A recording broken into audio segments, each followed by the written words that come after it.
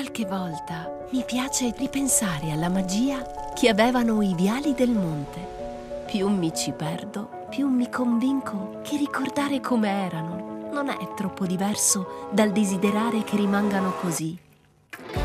Immutati, ma sempre differenti, pronti a rinnovarsi, anzi a crescere, proprio come noi cercando di trasformare il nostro presente nel futuro che vorremmo.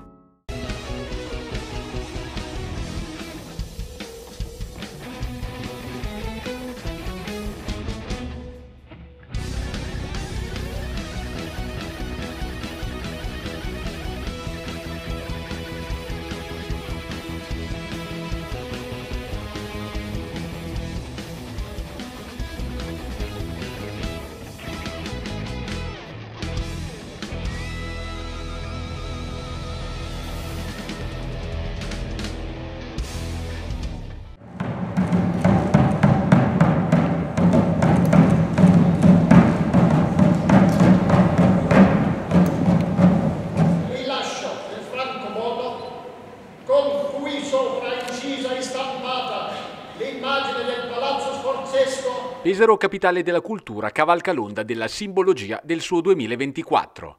A meno di 24 ore da una domenica sera nel segno del varo di un'icona di modernità come la biosfera, ecco lunedì mattina all'insegna invece del passato rinascimentale e della tradizione istituzionale. A Palazzo Ducale, sede della prefettura, sono state presentate ufficialmente moneta e francobollo celebrative di Pesaro, capitale della cultura 2024. Novità annunciate in una mattinata cominciata con la cerimonia in costume con tanto di proclama di Guidobaldo II della Rovere e conclusa con decine di collezionisti in coda nella sala Laurana per munirsi dei due cimeli. Ogni anno il Ministero delle Imprese del Made in Italy certifica una città come eh, con il francobollo della capitale italiana della cultura. È un ottimo riconoscimento, un bel riconoscimento far parte di queste elite di città che vengono scelte assolutamente per il proprio eh, operato nell'ambito della cultura stessa. Quindi sicuramente è un premio che è lo Stato che certifica un, un, una, un comune virtuoso nel, nella cultura. La tiratura del francobollo è di 250.000 eventi esemplari e del valore nominale di 1,25 euro. La moneta in rame, emessa dal Ministero dell'Economia e delle Finanze, è realizzata dall'artista incisore Uliana Pernazza e prodotta presso le officine della Zecca dello Stato. Ha un valore nominale di 5 euro e una tiratura di 4.500 pezzi vendibile a 45 euro l'uno. Palazzo Ducale troneggia sul francobollo, così come sulla moneta, dove sono anche raffigurate la fontana di Piazza del Popolo e Rocca Costanza.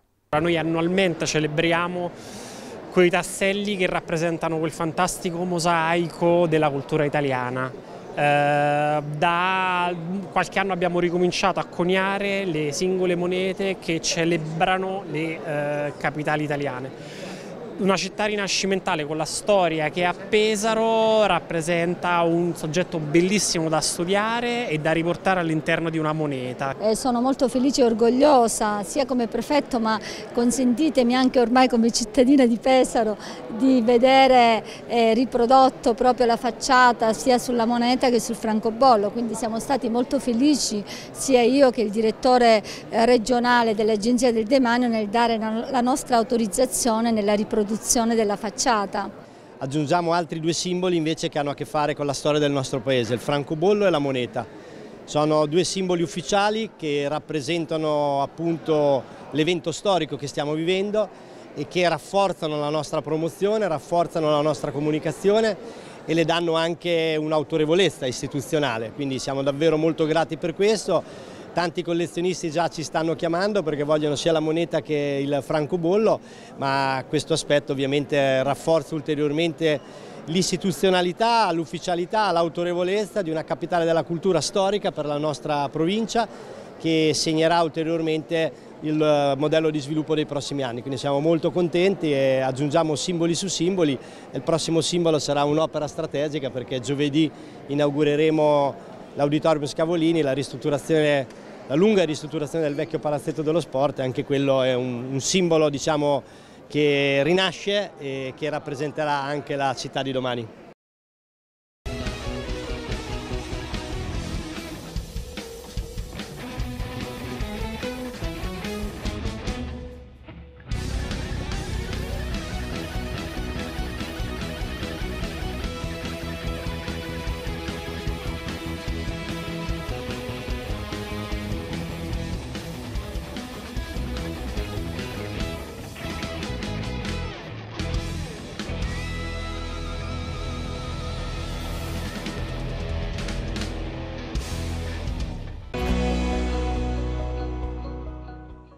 Qualche volta mi piace ripensare alla magia che avevano i viali del monte. Più mi ci perdo, più mi convinco che ricordare come erano non è troppo diverso dal desiderare che rimangano così. Immutati, ma sempre differenti, pronti a rinnovarsi, anzi a crescere, proprio come noi, cercando di trasformare il nostro presente nel futuro che vorremmo.